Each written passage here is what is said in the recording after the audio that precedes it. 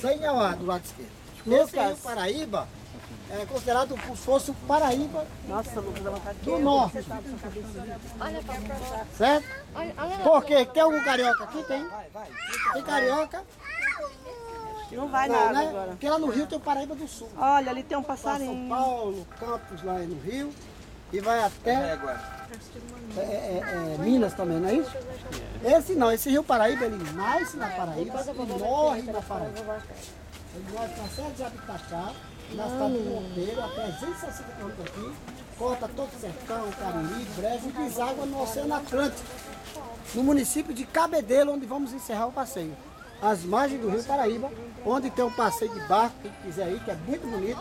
Você vê o manguezal, vê peixe, vê caranguejo. O passeio é 25 reais, já está incluído por ver aqui.